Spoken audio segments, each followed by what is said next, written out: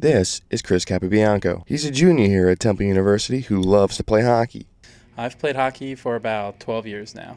When he's not in class or playing hockey, he's giving back to the community as he works for the Ed Snider Youth Hockey Foundation. What the foundation does is it brings the sport of ice hockey to inner city underprivileged kids that wouldn't be able to afford to play it otherwise.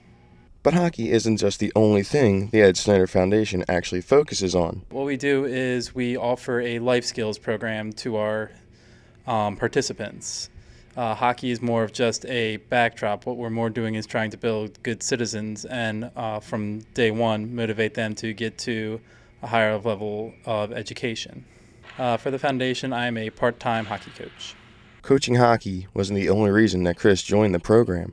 I really like the work that the foundation was doing. I like working with kids, and I love the sport of hockey. And wanting to be a teacher, this seemed like a great opportunity for me to really get some hands-on experience. And surely enough, I do love what I do.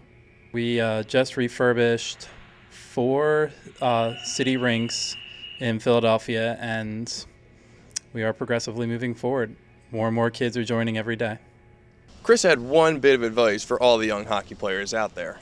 Skate hard. Always good advice.